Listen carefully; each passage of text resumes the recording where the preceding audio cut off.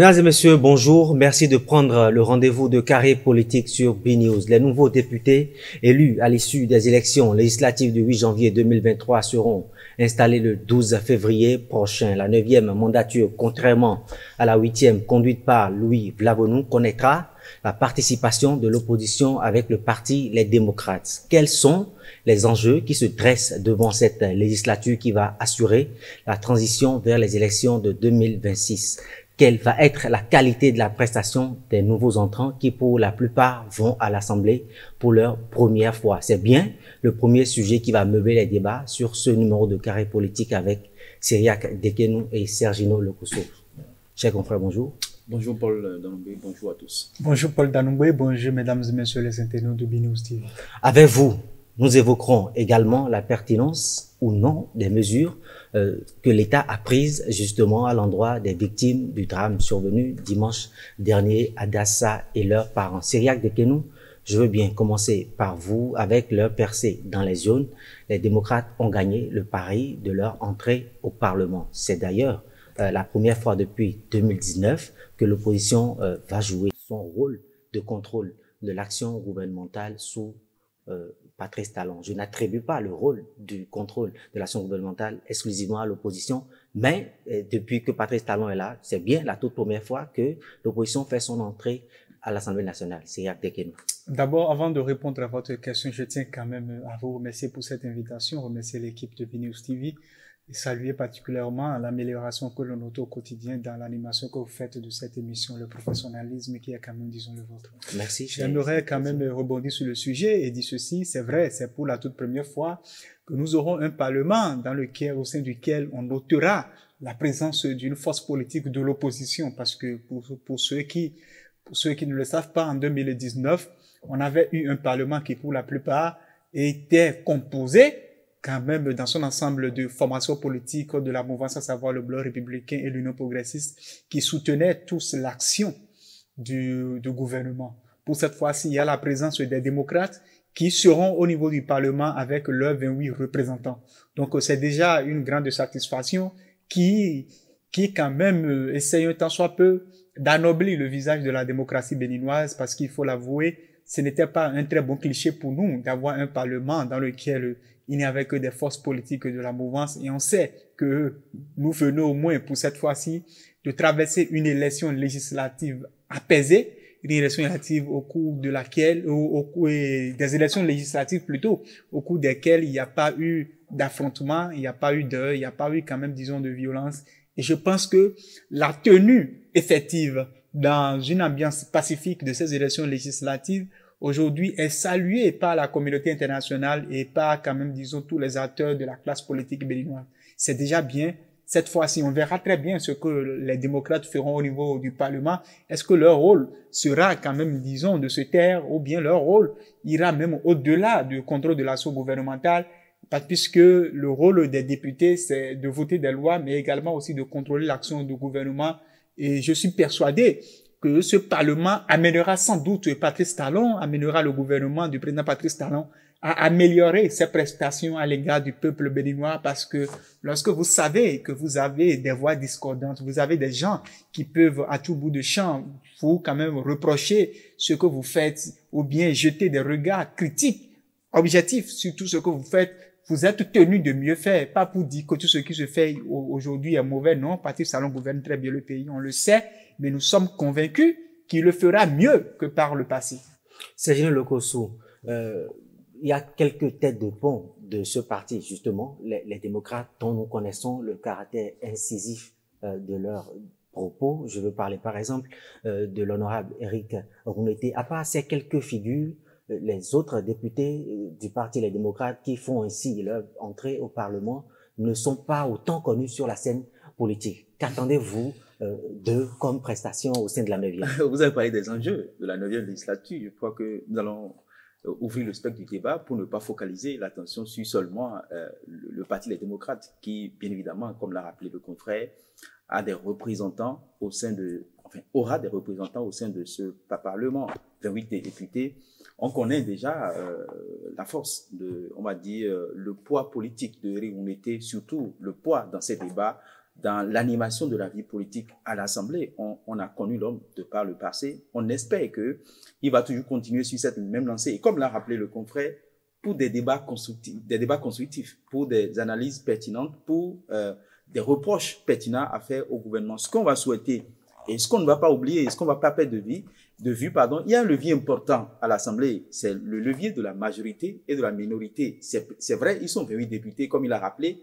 Vont-ils se taire ou vont-ils parler? Maintenant, quand ils vont parler, est-ce que ce qu'ils vont dire sera aura un écho. Euh, aura un, aura un écho. C'est ce qu'il faut c'est ce qu'il faut demander parce que il y a le jeu de la majorité et de la minorité. Et quoi qu'on dise Patrice Talon on n'a plus besoin de le rappeler à la majorité à l'Assemblée. 28 et puis 54 ou 53 je crois. Et donc je pense que à, ce niveau, il y a un véritable problème qui, qui va se poser. C'est vrai, ils vont faire leurs propositions, ils vont crier, ils vont reprocher un certain nombre de choses au gouvernement. Maintenant, à la fin, est-ce que ça aura un écho? C'est l'autre point, c'est l'autre pépère de manche qu'il ne faut pas oublier. Mais ce qu'il faut saluer globalement et qui a été salué euh, aussi bien euh, au sein, aussi bien au sein de la classe politique, au niveau interne qu'international, c'est la participation de l'opposition et euh, euh, le fait que les opposants ont également leur droit au chapitre. Aujourd'hui, on a une Assemblée nationale dans laquelle se trouvent des opposants et c'est bon pour notre démocratie. Il a rappelé, ce qui est aussi bon pour notre démocratie, c'est de faire des débats constructifs. Le fait d'aller à l'Assemblée nationale ne donne pas carte aux opposants de tout critiquer, de, tout, peindre, en noir, mais c'est de proposer des, des actions constructives au gouvernement, c'est d'améliorer la gouvernance et la seule façon d'améliorer la gouvernance, c'est de contrôler efficacement euh, les, les, actions du gouvernement à travers des interpellations. Il faut interpeller le gouvernement sur un certain nombre de choses, sur, sur un certain nombre de faits et d'actes euh, que le gouvernement aura forcément à poser. Et donc, je pense que le premier enjeu, c'est d'abord la participation des, des, des, opposants. On a euh, une force politique de l'opposition à l'Assemblée, même s'il y a plusieurs fois dans le pays, on a au moins les démocrates qui sont assez représentatifs et qui sont à, l'Assemblée. C'est d'abord le premier enjeu, c'est la participation de l'opposition. On a un Parlement aujourd'hui où se trouvent des partis, enfin, euh, un parti de, de, de, de, de l'opposition. C'est important. L'autre enjeu, c'est que cette Assemblée nationale, la neuvième, doit essayer d'améliorer ce que la huitième a fait. Euh, il est reproché quand vous suivez certaines analyses politiques, c'est que euh, l'Assemblée des défunts, a, a, voté assez de lois, des lois ont été votées même dans la nuit, à l'insu du peuple. lois jugées chrysogènes par certains courants.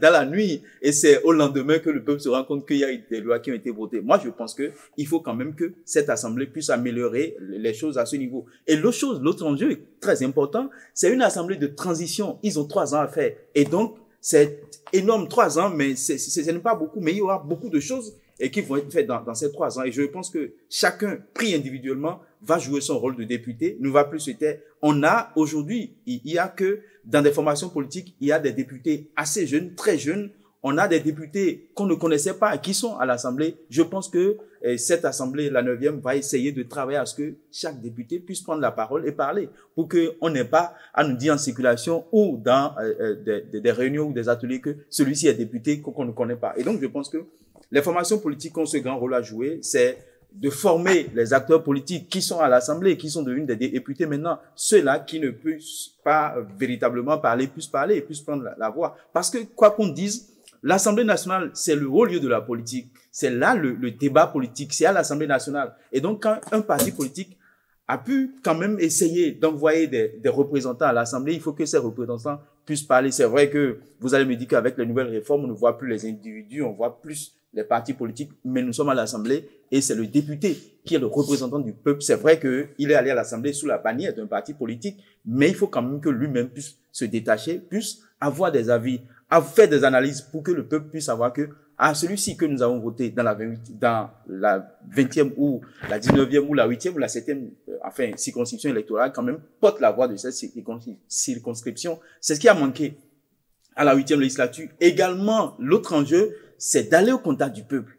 Ne pas attendre de recevoir peut-être l'injonction du chef de l'État avant de descendre dans la circonscription électorale. Il faut que de façon régulière, ces députés puissent quand même descendre dans les différentes circonscriptions électorales, qu'ils soient de la mouvance ou de l'opposition, pour aller montrer aux populations, rendre compte aux populations de ce qu'ils sont en train de faire à l'Assemblée, pour véritablement montrer aux populations que oui, nous sommes allés à l'Assemblée, vous nous avez donné quitus pour aller dans cette institution, la deuxième, on va dire, du, du pays, pour vous représenter, pas pour nous représenter. Nous ne sommes pas allés là-bas pour se servir, mais pour vous servir. C'est important. Aujourd'hui, il faut quand même que les réformes puissent quand même amener les députés que nous choisissons aujourd'hui à parler. Il faut que de façon régulière, les députés puissent aller dans les circonscriptions électorales, aller euh, vers leur mandant pour leur témoigner un certain nombre de choses, pour leur montrer un certain nombre de choses. Je pense que euh, ça, il va de l'intérêt de tous et ça montre véritablement que les réformes sont en cours et que la politique aujourd'hui a changé et que véritablement, c'est le peuple qui envoie, pas pour aller se servir, mais pour aller servir le peuple, pour aller montrer au peuple que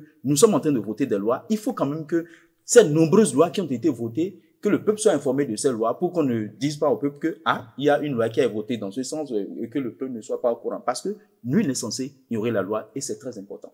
Cyriac Dekenou, la neuvième succède à un parlement qui a, le long de la mandature, été jugé de monocolore, euh, avec l'entrée au parlement euh, du parti Les démocrates, les débats vont certainement être un peu plus houleux, un peu plus incisifs. Vous, qu'attendez-vous concrètement de ces députés, que ce soit du bloc républicain, de l'Union progressiste, le renouveau et du parti Les démocrates? Et je pense déjà qu'il y a quand même, disons, une euh, mise au point à faire, puisqu'il faut pas quand même euh, rester trop euphorique, parce que si c'était que le, la, la formation politique, les démocrates, avait une minorité de blocage au niveau du Parlement, je pense que on, on aurait véritablement des raisons pour se dire, mais écoutez, pour quand même, disons, en arriver même jusqu'à une éventuelle révision de la Constitution, qu'ils auraient la possibilité de bloquer. Parce qu'aujourd'hui, ils ont 28. Et nous savons très bien que la minorité de blocage, que c'est 29. Je crois d'ailleurs, pour ceux qui ne, ne savent pas, que ça fait d'ailleurs partie quand même, disons, des suspicions euh, que certains, certains acteurs politiques de l'opposition nourrissent vis-à-vis quand même, disons, du pouvoir vis-à-vis de la Sénat et de, et de la Cour constitutionnelle, en estimant que si on a fait tout possible pour les arrêter à 28, que c'est peut-être, que c'est peut-être, mais, mais bon, là, quand même, disons, tout cela, ça reste à prouver. Ce qui est sûr et certain, c'est que les élections ont été très bien organisées. La Sénat et la Cour constitutionnelle ont donné leurs résultats. Maintenant, allons au cas par cas. Lorsque vous prenez une formation politique comme euh, quand même, disons, l'Union progressiste et le Bloc républicain, elles ont un enjeu plutôt, ces deux formations politiques. Et l'enjeu est de taille. C'est de montrer à toute la classe politique qu'aujourd'hui, que ces deux formations politiques ont quand même, disons, cette possibilité de montrer que tout ce qui avait été fait par le passé n'était pas mauvais.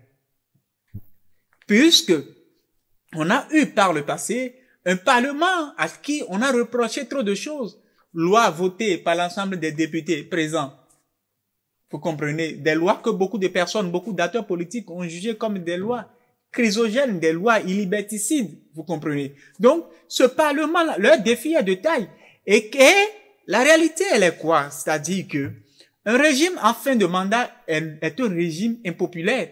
Fragile. Qui est très fragile et qui est confronté à des difficultés de, à, des difficultés de pouvoir quand même, disons, unir le camp autour de l'idéal.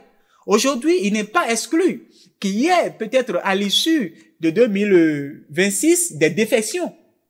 Des défections au sein des formations politiques comme l'Union progressiste ou bien au sein des formations politiques comme, disons, et le bloc républicain.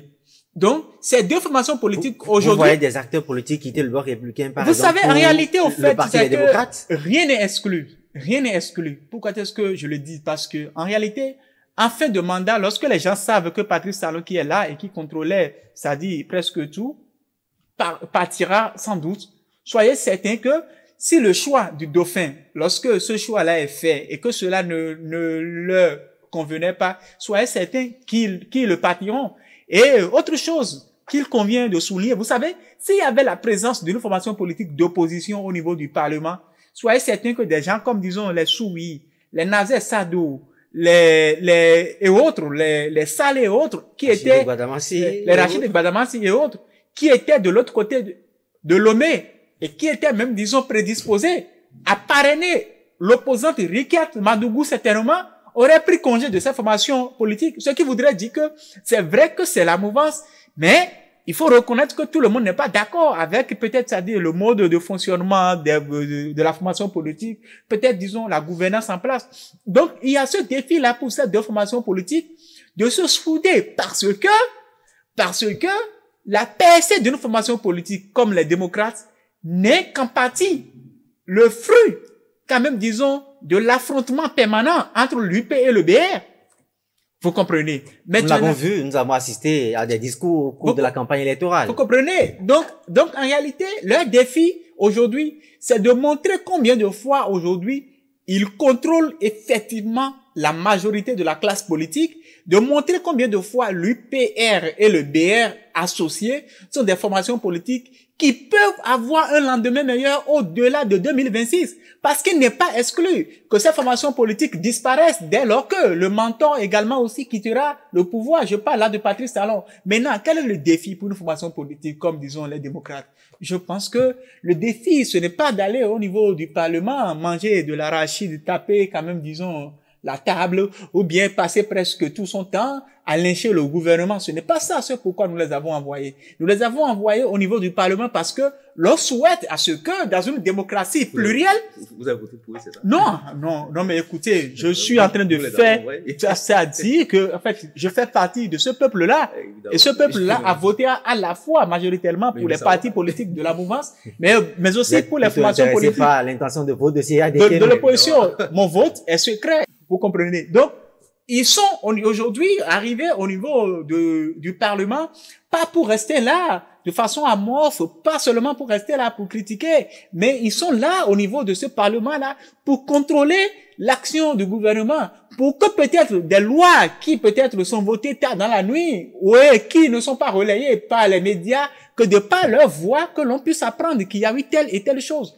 Donc, c'est des éléments, c'est des choses dont on a besoin pour quand même, disons, montrer combien de fois nous aurons effectivement un parlement qui, qui quand même, disons, à l'image des autres parlements, la cinquième législature, la sixième législature, la septième législature, seront quand même, disons, des parlements qui vivront. Maintenant, l'autre défi, c'est de pouvoir conquérir encore une bonne partie de la classe politique. Et c'est ça également aussi le carrefour auquel on attend une formation politique comme les démocrates. Il faut pas que des gens, parce qu'ils sont élus, parce que lorsque vous regardez également aussi le profil, le profil de la plupart de ceux qui sont élus au sein d'une formation politique comme les démocrates, ce sont pour la plupart des enseignants, des, des commerçants, des commerçantes. Vous comprenez, des gens qui sont quand même, disons, euh, dans la classe moyenne, quoi, de la société béninoise.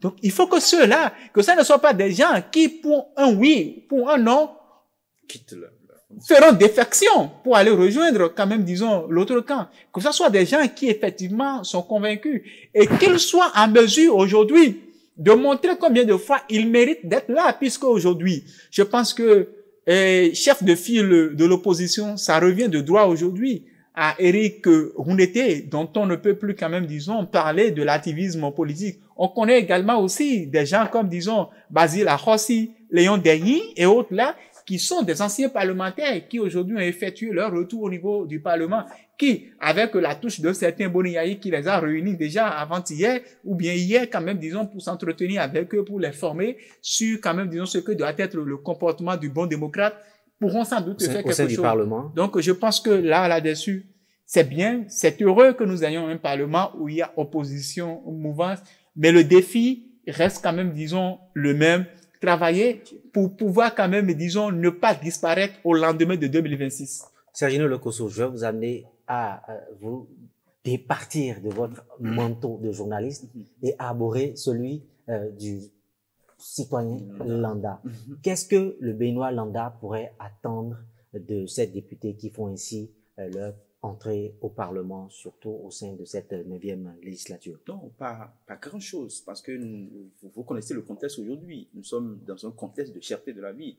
Et le béninois que nous sommes, que euh, pas forcément nous qui sommes allés à l'école, mais pour le commun des béninois, quand ça va, ça va. Le seul baromètre pour pour, pour apprécier, pour apprécier euh, ce qui se passe bien, c'est le panier de la ménagère. Et donc, si le panier de la ménagère est vide, les gens ne seront pas contents de bien apprécier les actions du gouvernement. Donc, je pense que c'est à ce niveau que le Béninois, que nous sommes beaucoup plus analphabètes que nous sommes, nous apprécions plus le panier, au niveau du panier de la ménagère. Donc, ce qu'on peut souhaiter de ce Parlement, de euh, ce Parlement, c'est qu'au-delà des lois qui seront votées certainement, c'est qu'il y ait quand même que les députés puissent plaider pour euh, une meilleure euh, condition de vie euh, des, Béninois parce qu'on en a besoin. C'est vrai que le gouvernement fait assez en ce qui concerne l'amélioration des conditions de vie et de travail d'un certain nombre enfin, de, de, de, Béninois, mais il faut que le gouvernement aille au-delà et c'est le Parlement qui doit quand même essayer d'amener le gouvernement à faire plus, à améliorer les conditions de vie et de travail de ceux-là qui sont euh, libres de leur mouvement, de ceux-là qui sont en détention. Il faut que euh, les détenus de nos prisons civiles soient respectés, que le droit soit respecté et que ceux-là euh, qui, ont, qui devraient normalement bénéficier de liberté soient véritablement libres de, de leur mouvement. Ce qu'on va souhaiter, c'est que qu'il y ait véritablement des mesures sociales pour accompagner les populations, pour que que qu'il soit, que le Béninois soit à Tchoumi Tchoumi ou à Fosso-Oba ou à Koklofenta ou à Totone ou à Lindjine, que tout le monde... Ça prouve vraiment que vous connaissez le, Bénin, Sergio Logosso. C'est cette commune que vous voulez citer sont dans quel, quel département? C'est des villageois. C'est des villages. Donc, que les Béninois dans leur ensemble puissent se sentir euh, concernés par ce qui se passe. Pas que Cotonou ne soit pas seulement euh, l'endroit où on apprécie la, la, gouvernance du pays et que la gouvernance soit appréciée dans les coins et recoins euh, du pays. Donc, je pense que on ne peut qu'espérer en tant que Béninois de ce Parlement. C'est vrai que c'est un Parlement de transition, mais c'est que les choses soient faites de telle manière que le Béninois puisse se sentir concerné, que les opposants jouent véritablement leur rôle.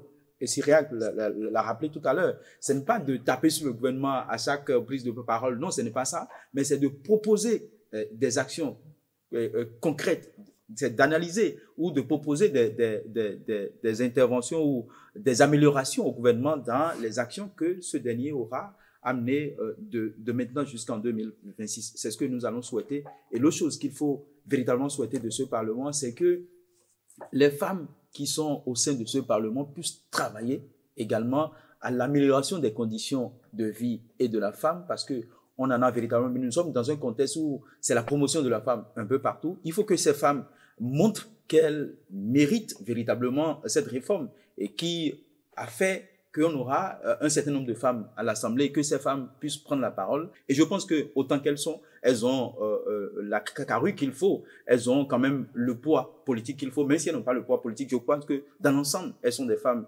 intellectuelles, donc elles auront à jouer leur rôle pour montrer au chef de l'État qui n'a pas tort d'initier cette réforme.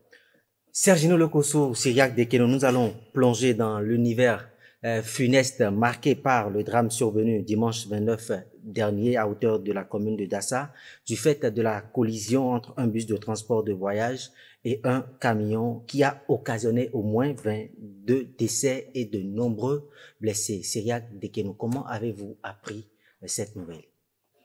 D'abord, je présente euh, mes sincères condoléances et la condoléance de ma rédaction Émergence Info à aux familles de ces nombreuses victimes. Parce que, il faut l'avouer, ce n'est pas facile. Victimes, oui, en fait, de ces nombreuses victimes, disais-je, puisque ce n'est pas facile de dire au revoir à tout à l'heure et de ne plus, plus jamais, revenir. Vous comprenez? Mais je pense que le gouvernement, il faut l'avouer, a pris la mesure de la situation. Aujourd'hui, euh, très tôt, le gouvernement a dépêché des, ministres, une délégation ministérielle sur le terrain. Le ministre de la Santé s'est rendu au CNHU. Les blessés, les rescapés ont été quand même, disons, pris en charge. Et c'est déjà bien aujourd'hui. Nous avons appris qu'il y a des tests ADN qui ont été qui, qui ont été diligentés afin de pouvoir quand même identifier les corps pour que les parents puissent faire leur deuil, tout, tout ça. Et c'est déjà bien. Mais il faut reconnaître que c'est aussi la faute au gouvernement si nous en sommes là aujourd'hui. Parce que comment se fait-il qu'il y ait eu incendie à quelques moins de 500 mètres, je pense, hein, d'une d'une station station, dit non en fait d'une compagnie, compagnie du, de groupement hein, national des sapeurs-pompiers, d'un groupement des sapeurs-pompiers et que pendant près de deux heures de temps, que ce groupement n'ait pas pu agir. Vous savez, en réalité, ne fuyons pas les responsabilités. Au-delà, quand même, disons, des coups d'éclat, c'est-à-dire des coups de communication et autres, la réalité, elle est là. Puisque les accidents, il y en a eu et il y en aura toujours. Ne perdons pas de vue cette réalité. Là, c'est-à-dire, c'est-à-dire, ce n'est pas un souhait, c'est Mais ça fait partie quand même, disons, des événements naturels de la vie. C'est inhérent. Hein? Au, Vous comprenez? Que ce quotidien. soit ici, en Europe, un peu partout, il y aura ça. Mais ce que l'on ne peut pas comprendre, c'est que des gens qui ont été mandatés, c'est que des gens qui ont prêté serment pour sauver des vies, soient à quelques mètres de là où l'incendie a eu lieu et qui n'aient pas pu réagir. Et ce qui est malheureux également aussi, c'est le silence que l'on observe par rapport à ce dossier, puisque c'est vrai que l'on a appris que les, les premiers responsables de l'entreprise de, transport en commun, Baobab, Express. Ba- Baobab Baobab Express, Express, oui. sont, sont aujourd'hui gardés et puis écoutés. Tout ça, c'est vrai. Mais la réalité, c'est quoi? La réalité, c'est que la première responsabilité aussi hein, devrait, devrait être quand même, disons, située vis-à-vis de ceux qui sont là et dont le métier, c'est d'intervenir en cas d'incendie. Est-ce que est-ce que c'est pas le moment hein, d'écouter ces derniers? Vous êtes journaliste. Non, ça mais écoutez, faire en réalité, au fait, c'est que Là où nous sommes en réalité, là- de. Écoutez, en fait, là où nous sommes aujourd'hui, les- on n'a pas encore appris que ceux-là ont été interpellés.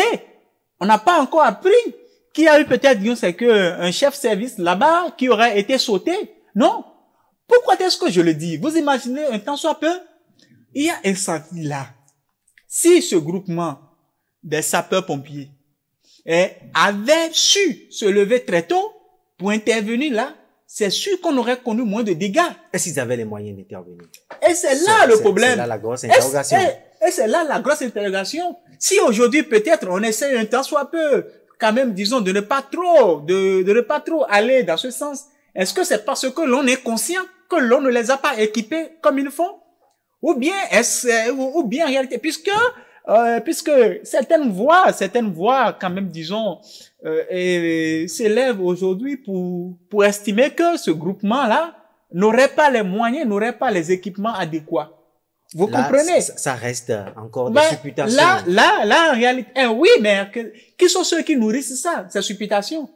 C'est ceux qui aujourd'hui, au lieu de s'en prendre à ceux qui sont là pour sauver des vies, hein, c'est-à-dire ont préféré garder de silence par rapport à ça. Le gouvernement, c'est vrai, il a su bien faire aujourd'hui. On essaye un temps soit peu de sauver ceux qui sont là. Ils sont très bien traités au CNHU. Le gouvernement prend en compte l'essentiel des soins et autres. Mais les premiers responsables, les sapeurs-pompiers qui sont là, pourquoi n'ont-ils pas pu intervenir? Est-ce qu'on les a dotés des moyens qu'il faut? Est-ce à dire que le groupement des sapeurs-pompiers de Dassala manque de moyens? Comment se fait-il qu'il y a eu incendie pendant tout ce temps? Et qu'ils n'ont pas pu se lever pour intervenir Et paraîtrait-il que c'est ceux de Savalou, vous, vous voyez? Qui sont Vous intervenus. voyez, à, des- à, à- et à plus d'une trentaine de kilomètres de là, qui sont venus pour pouvoir intervenir. Pendant ce temps, le dégât est déjà constaté. Est-ce à dire que notre politique aujourd'hui en République du Bénin, en matière quand même, disons, de dotation d'équipement, au niveau de chaque unité d'intervention ou bien les unités de sapeurs-pompiers, aujourd'hui, c'est une politique qui, en réalité, n'a pas encore pris corps. Ce sont les véritables interrogations. Et je suis surpris que jusqu'à présent, le premier responsable du groupement des sapeurs-pompiers en République du Bénin ne soit pas en mesure de sortir aujourd'hui pour se prononcer sur une question aussi essentielle. Et c'est grave. Sergino Lecoso, nous n'allons pas remuer le couteau dans la plaie, mais les responsabilités ne sont pas encore situées. Vous avez suivi les Syriaques des Ténons. Oui, euh, à la suite de Sierra, moi-même, je présente mes, mes condoléances aux familles éplorées, à ces pères et mères, euh, sœurs, euh, Proches, amis. qui ont perdu euh, leurs parents dans ce drame national. Et je crois que c'est euh, Victor Hugo dans- qui, dans les contemplations, nous montre le caractère éphémère de l'homme en disant Je conviens à vous, Seigneur, confessant que vous êtes bon, clément, indulgent et doux, ô Dieu vivant, vous seul savez ce que vous faites, et que l'homme n'est qu'un jonc qui tremble au vent. C'est pour montrer le caractère éphémère de l'homme. Et donc, je pense que euh, aujourd'hui, le débat, c'est plus comment apaiser les cœurs, les cœurs de ses parents et qui ont perdu le- leurs proches. Au-delà d'apaiser le cœur de ses parents, c'est de situer les responsabilités. Il est important que, c'est vrai que les responsables de, ce, de cette compagnie de transport sont gardés à vue enfin, au commissariat de Dassa, d'après les informations. Il est également vrai que l'État a pris des mesures pour pouvoir quand même euh, a pris des mesures pour corriger un certain nombre de choses, un certain nombre de dysfonctionnements. Euh, je vois euh, l'indignation de mon confrère Sia de Kenou qui appelait à ce que le premier responsable des sapeurs-pompiers soit écouté, donne des explications par rapport à cette inaction qu'on a notée au sein de ces sapeurs-pompiers. Et moi, j'ai la solution. La solution, c'est que chacun se protège et Dieu protège tous. Nous sommes dans un pays où les priorités ne sont pas les mêmes dans les circonscriptions, enfin, dans les communes données, dans les circonscriptions données. Je pense qu'aujourd'hui, le problème qui se pose, c'est au-delà euh, du groupement des sapeurs-pompiers et de leurs responsables. Moi, je pense que euh, le premier auteur qu'on doit interpeller, c'est le chef de l'État. Ayons le courage de l'interpeller. C'est lui qu'on a voté. C'est à lui qu'on a confié le pouvoir discrétionnaire, le pouvoir de nous surveiller dans les 77 communes. À ce niveau, c'est vrai, il faut situer les responsabilités. Le gouvernement est en train de faire la prise en charge, un certain nombre de mesures ont été, les mesures ont, été prises. je, ne vous interromps pas. il y a la professionnalisation du métier du transporteur. on connaissait, on connaissait mesures. Mais dans le cas d'espèces, c'est que quelque chose a été, euh, euh, une situation s'est produite. Quand vous suivez les vidéos qui ont circulé sur les les réseaux sociaux, les populations disaient, on a appelé les sapeurs qui disaient qu'ils n'ont pas d'eau, qu'ils n'ont pas l'équipement nécessaire pour pouvoir aller au secours. Mais comment comprendre, Sergio Locoso, j'ai envie de vous demander, comment comprendre qu'un groupement national des sapeurs-pompiers qui a d'abord pour attribut d'intervenir dans ces cas ait pu manquer d'eau, alors qu'à Cotonou, ici, on investit des milliards dans la modernisation de la ville, par exemple. Ça, c'est récurrent, c'est le quotidien des sapeurs-pompiers à Lada, il y a eu incendie à, à Lada, ils n'ont pas pu. C'est, c'est, c'est, c'est Ouida qui allait à Lada pour pouvoir éteindre le feu. Il y a que l'essence par l'année dernière a, a, a fait des ravages à Lada, mais les sapeurs-pompiers qui étaient dans la commune n'ont pas d'équipement. Donc, je pense que c'est national, ce problème. Ça se pose un peu à tout en dehors des, des, grandes villes du pays. Les villes secondaires, à Lada et consorts, le problème existe, mais personne n'en parle. Les radios en parlent. Je crois que l'année dernière, Radio Cédorou à Lada a parlé de ça.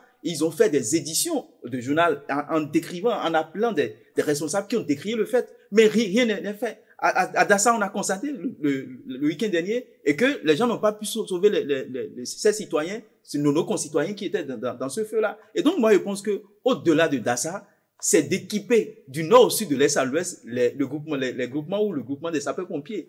Est-ce que le gouvernement, l'État est vraiment présent dans l'activité que mènent ces agences de voyage. Euh, je vais peut-être vous étonner parce que je prendrai sans doute le contre-pied de, tout ce qui aurait été dit. Vous savez, il y a un certain Akopo Soudé, et un monsieur Dalada qui fait partie des survivants, vous comprenez, et qui a fait même, disons, une vidéo qui est devenue virale sur les réseaux sociaux, et qui a dit que le bus n'était pas, c'est-à-dire n'allait pas à vive allure qu'il n'y a pas d'essai de vitesse. Et lui, il en est témoin. Et c'est d'ailleurs lui qui a même expliqué comment est-ce que le feu était parti du devant et qu'ils étaient tous venus, ça dit, s'agglutiner derrière, derrière pour, pour, essayer d'ouvrir quand même, disons, et, et, et, truc là, et, et la sortie du, du, bus. Du, bus.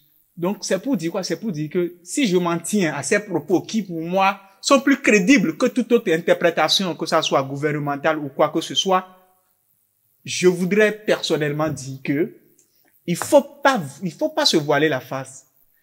Essayons de situer les responsabilités au meilleur endroit. Le meilleur endroit, ça dit quoi? Je vous l'ai dit tout à l'heure.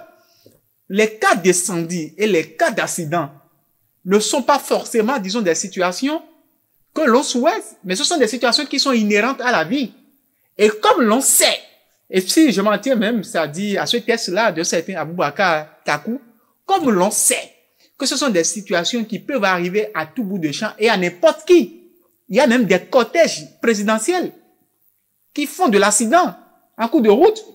Si c'était peut-être un cortège, un, un cortège présidentiel qui avait fait cet accident-là et que les sapeurs-pompiers n'étaient pas, pas venus intervenir à temps, est-ce qu'on serait en train de nous dire que, bon, peut-être que le chauffeur du président de la République est arrêté ou bien, en fait, telle et telle personne serait arrêtée? La première responsabilité, elle incombe à ceux qui sont chargés de sauver des vies, mais qui ne sont pas arrivés là. C'est leur rôle d'éteindre le feu. Mais pourquoi est-ce qu'ils sont venus en retard?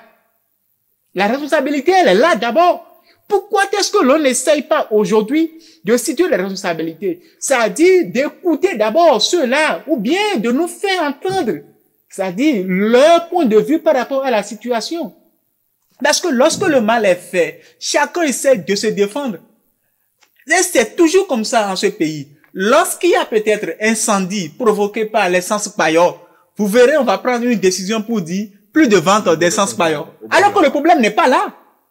Le problème n'est pas lié à la vente de l'essence paillot, non. Mais pourquoi est-ce que ceux qui sont chargés de venir éteindre le feu lorsqu'il y a un incendie n'arrivent pas? Pourquoi ne les a-t-on pas équipés comme il le faut? La question, elle est là. Vous voyez même dans des agglomérations, je me rappelle même pas plus tard ici, même disons tout juste à côté, c'est vrai qu'il faut féliciter les sapeurs-pompiers qui quand même disons se débrouillent du mieux qu'ils peuvent. Mais ce qu'il y a sans doute, c'est qu'il y a un problème de manque d'équipement. Vous comprenez? Maintenant, et de motivation sans doute.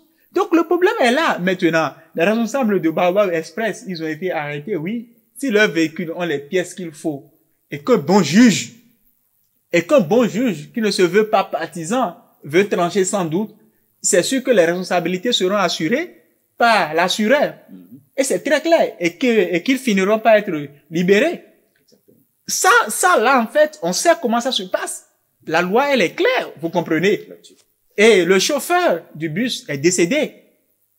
Et aujourd'hui, selon les témoignages que nous avons reçus, c'est que le bus ne filait pas. Et qu'il y aurait eu et, et crevaison crevaison du l'éclatement euh, d'un des pneus. Donc là-dessus, on sait déjà. C'est vrai que le gouvernement fait l'effort qu'il faut, mais il faut aussi réorganiser le secteur des transports, en, des, des transports en commun en République du Bénin. Non, la, la mesure aujourd'hui, la mesure est déjà prise. La mesure est déjà prise. Oui, par le gouvernement. Mais écoutez, dans, la bactérie de mesures. Si la mesure elle est déjà prise, de, de l'accident. Si la mesure elle est déjà prise, comment veut-on l'implémenter? Puisque toutes les mesures prises à la hâte, en réalité, sont prises sous le coup de l'émotion et autres, mais ne fonctionnent pas comme il le faut. Est-ce qu'il ne faut pas aujourd'hui mieux réorganiser le secteur là pour qu'il y ait des contrôles de visite technique et autres Nous autres, nous avons des parents qui sont quand même, disons, en Europe et qui dirigent des compagnies de transport et autres là. Vous payez votre propre véhicule avant que vous ne pouvez même, à la avant que vous ne parvenez même, disons, à conduire le dit véhicule là va passer par des inspections sur des jours et des jours, ça fait même des semaines. Et avant que, et ce n'est pas parce que vous êtes détenteur d'un permis de conduire que vous devenez systématiquement chauffeur, non.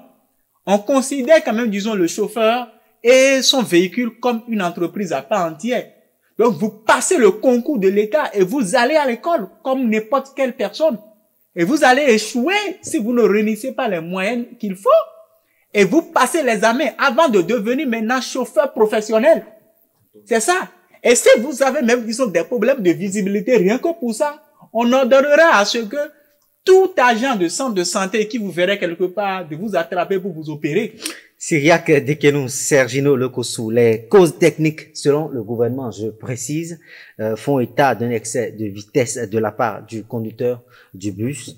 Il y a d'autres raisons qui ont été évoquées, nous n'allons pas les rappeler ici, mais il y a certains Béninois, il y a un courant de pensée qui fait état aussi des implications culturelles et spirituelles que ce drame aurait pu avoir. Nous allons comprendre euh, tout ceci justement avec le professeur David Kofi Aza que je reçois dans la seconde rubrique de cette émission.